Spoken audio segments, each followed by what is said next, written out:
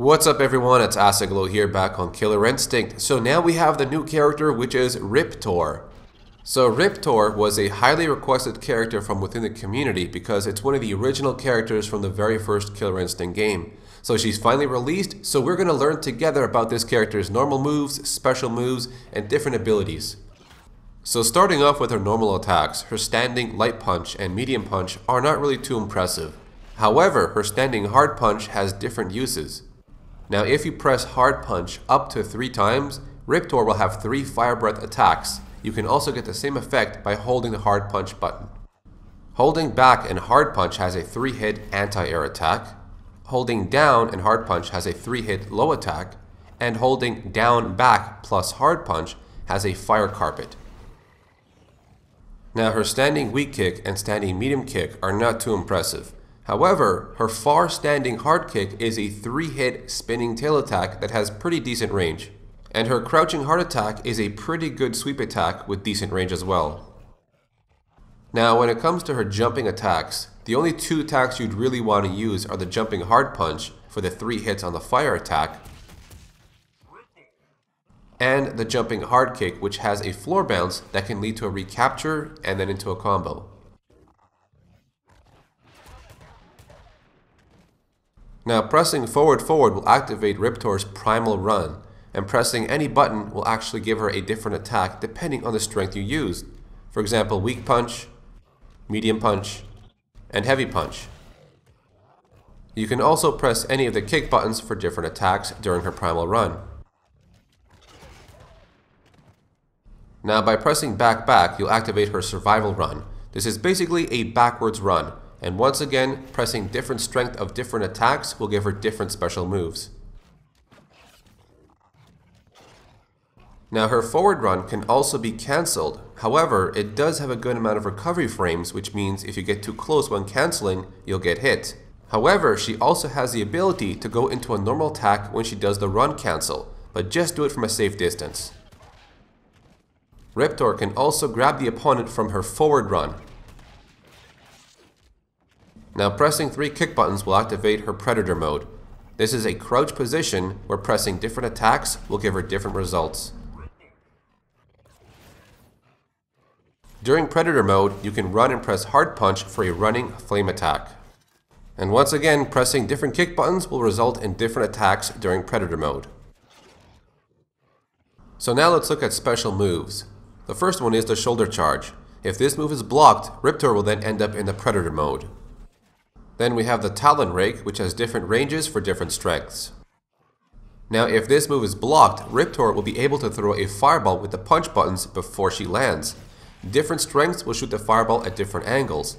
And pressing the kick button before you land will result in a tail flip special move. The different strengths will go at different angles. The tail flip special move can be done on the ground and in the air. The Clever Girl special move is a 3-hit grab that also acts as an anti-air. Alright, so now let's have a look at Riptor's special combo ability. What this means is every character in the game follows the same combo pattern in Killer Instinct. However, they all have a unique thing that gives them a separate way to do combos. So Riptor's special ability with her combos is she's able to push the hard punch or the hard kick buttons as a 3-hit linker that'll look differently from her special move linkers. Now her hard punch version is a 3-hit fire breath attack and her hard kick version is a spinning tail attack that does 3 hits. Now at first, this might get a little bit confusing, but you gotta remember the hard punch and the hard kick are acting as 3 hit heavy linkers. And then after that, you can go into an auto, and then another linker, an auto, and then end the combo.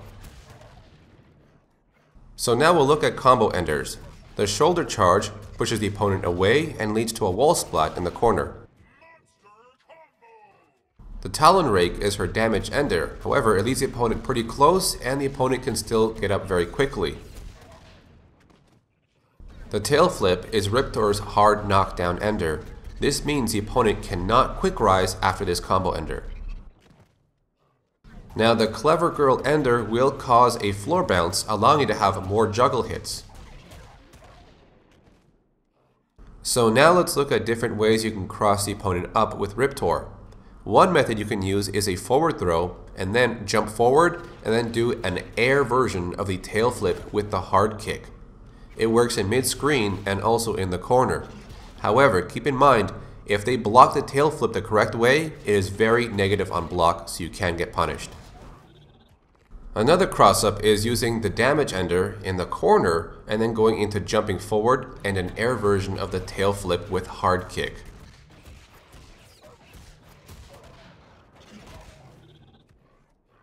You can also use the floor bounce ender and then use the flame carpet as a shield on the opponent's wake up and then cross them up at the same time. This way they have to block low and block the cross up pretty much at the same time. Or if you prefer to use the hard knockdown ender, then you can use the flame carpet on the wake up and just do a standing tail flip with the hard kick.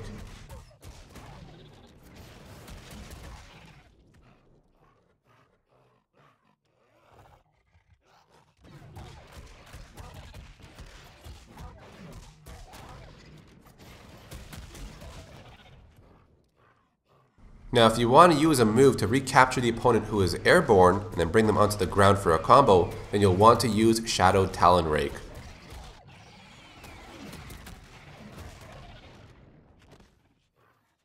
Now one of Riptor's best special moves to get in on the opponent is the shoulder charge. Now this move is really good because it has a lot of plus frames on block. Now that means you'll be able to get another move out before the opponent is out of block stun preferably moves in predator mode, because when the opponent blocks the shoulder charge, you're put into predator mode and you can use either light punch or light kick for multiple hitting attacks. However, be very careful because you can get shadow countered. So now let's look at Riptor's instinct mode and abilities. When you activate instinct mode, you will gain increased running speed and your fire breath and tail attacks will have increased range. So this concludes my guide on Riptor, which is the newest character for Killer Instinct in Season 2. If this video helped you out or if you enjoyed it, please leave a thumbs up and leave your comments down below, and I will see you guys next time. So if you guys want more Killer Instinct related videos, here are some more you can check out. Just click on the annotation link, and thanks for watching. Don't forget subscribe, and I'll see you guys next time.